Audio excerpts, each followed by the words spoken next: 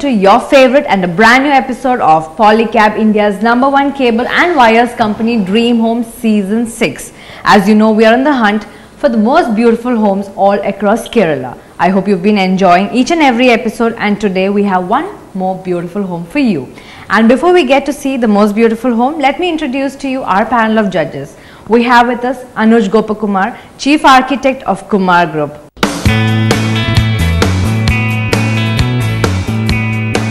We have with us Sudha, architect and interior designer of Swasti.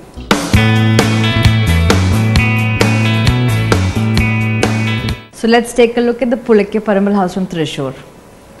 Hello everybody, welcome to Polycab, India's number one cable and wires company, Dream Home Season 6. Today I'm standing in front of Pulikaparambil house from Thrissur.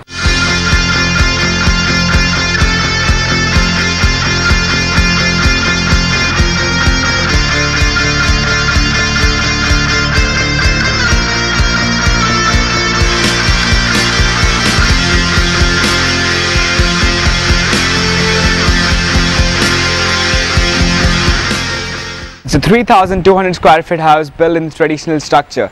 A classic approach can be um, visible in the exteriors. Well, they also have a lot of windows, um, so well woodwork can be seen. I believe that provides a lot of lighting inside. Landscape area has been taken care of. They have um, a main pathway that leads to the car parking area and towards the both corners we have a dedicated garden space.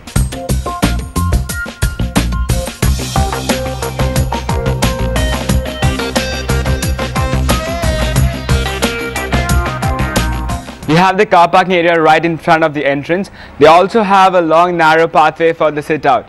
For the flooring what they've used is granite. Even the inclination is pretty good. Classic white colors has been used in the exteriors and to add glamour to it uh, is the window paneling work that has been done. So that's all about the exteriors. Let's go inside and check out the interiors now.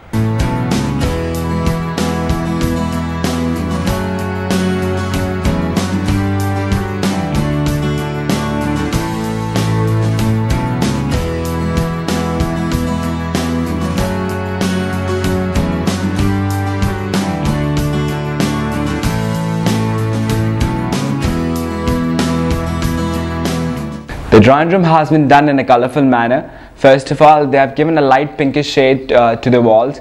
Above the ceiling, it's false ceiling. Uh, indirect lighting has been given, even a couple of LED lights accompanying it. And they've given the same uh, pinkish effect to the curtains. The windows on either, end, either ends, which helps in the cross ventilation and lighting. For the flooring, it's granite. They've used a wood paneling work uh, on the sideways. That is the segregation between this drawing room area and with the other uh, parts of the house.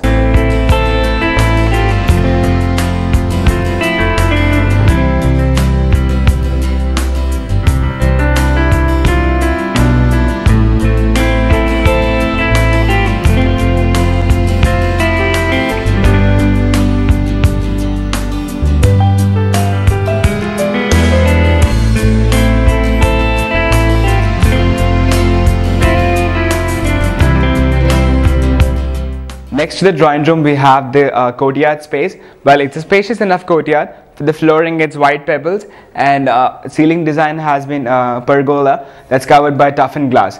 Sideways, the side complete wall has been done using cladding, stone cladding they have used, and on the other end, wood paneling has been, um, you know, wood paneling teamed up with glass um, is the design. This complete wooden frame is actually segregation between the uh, drawing room and the courtyard. Over that side is the dining hall um, then we have two bedrooms on the lower floor, two bedrooms above.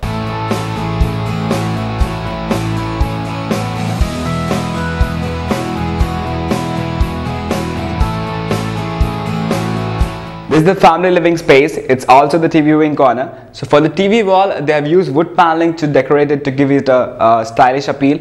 They've used a lot of wood paneling work. A lot of wood niches have been uh, there, um, you know, which uh, is a decorative piece in the interiors. For the flooring, it's granite completely and um, the, the, the, walls have been given a light pinkish shade. There are windows on uh, both the ends actually on the opposite wall, to which helps in the uh, cross ventilation as well as lighting.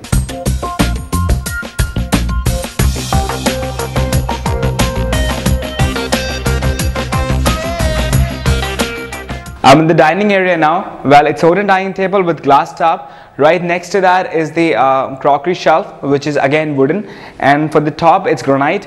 There's also a pantry counter which is attached to the kitchen right next to me. A pantry counter helps in the easy access from the um, you know, from the kitchen to the dining space. The wash area has been located close by.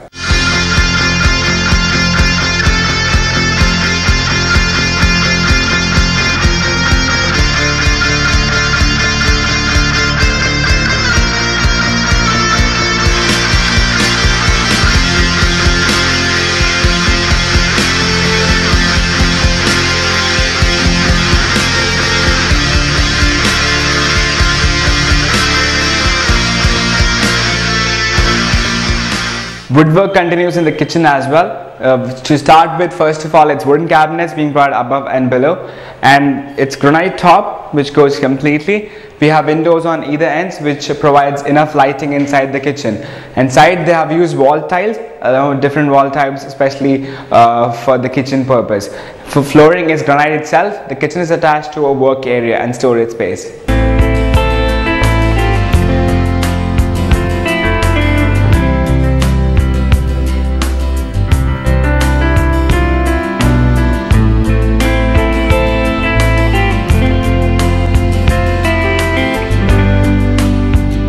They maintain a dark color tone in the master bedroom, uh, dark brown to be precise.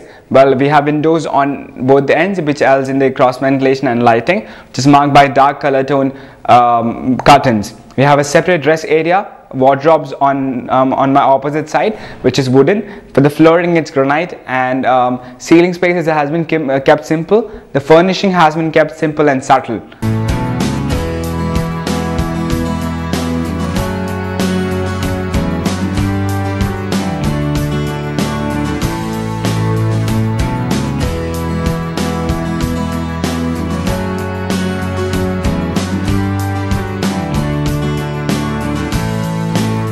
The staircase pattern has been kept simple, but the um, the difference in the designing is first of all in the ceiling. That's pergola design that's covered by a toughened glass. And below the staircase, the area has not been kept simple. The, what they have done is it's the flooring is white pebbles. They try to maintain a, a little courtyard space, and also it's used for uh, for storing purposes. And this pergola design, especially that lets a lot of sunlight to enter the uh, staircase area.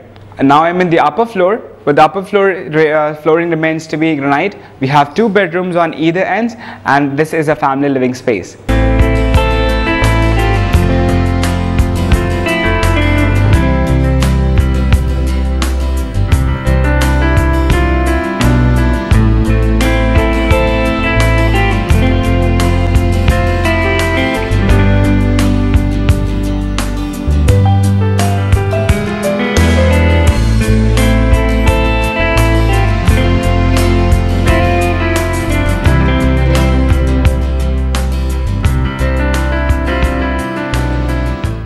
Sudha, what do you have to speak about the exteriors and landscape of this house? Designed in a colonial style, I understand, because of the dormer windows that we can see from the outside.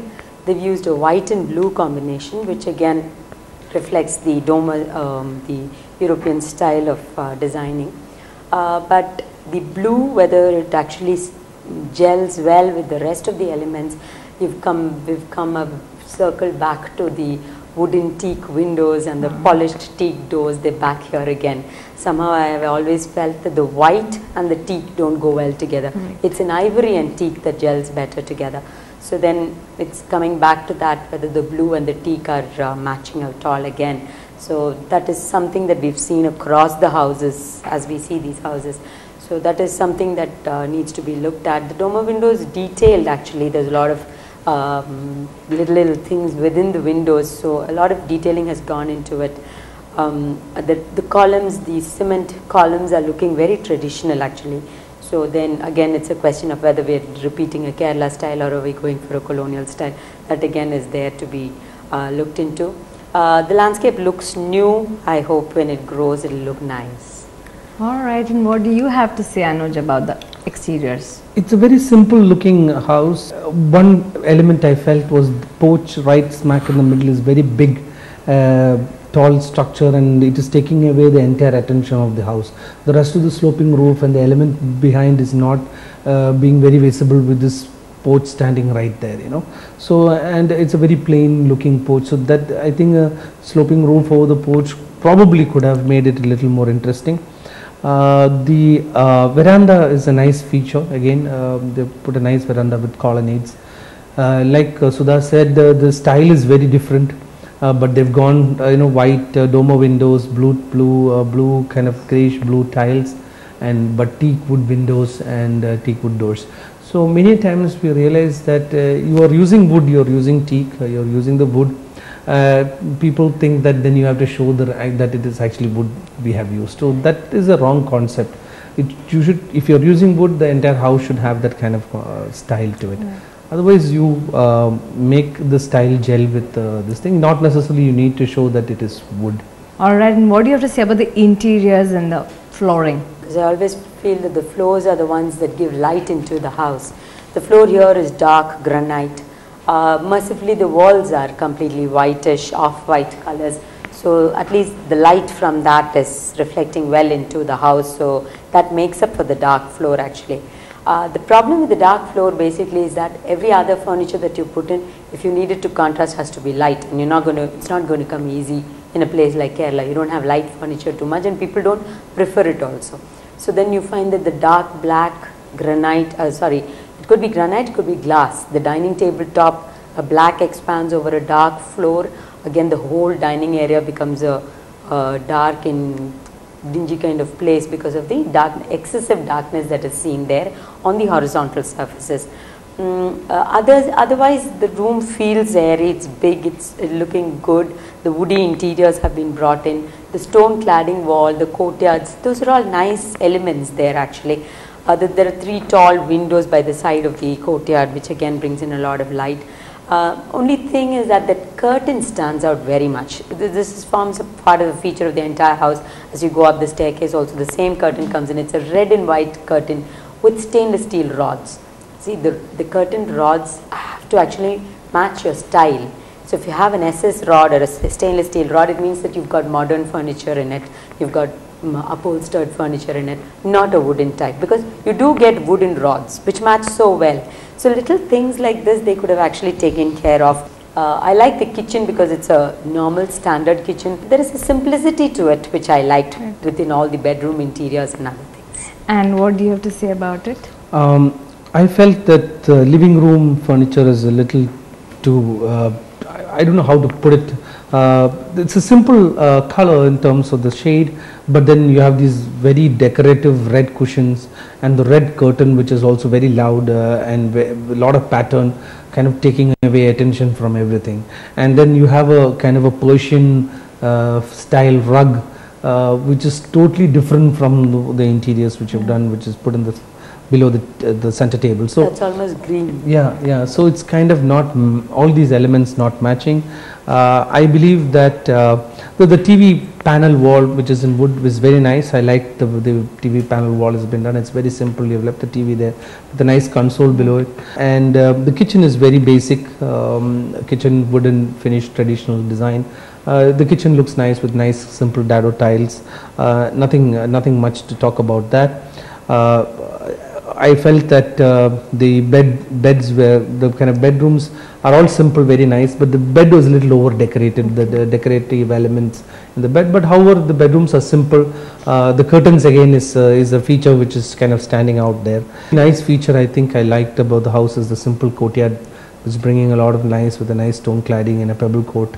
I think that is the only feature which is looking nice. Alright, and what do you have to speak about color, lighting, and decor? Yeah, the colors are fine uh, on the walls.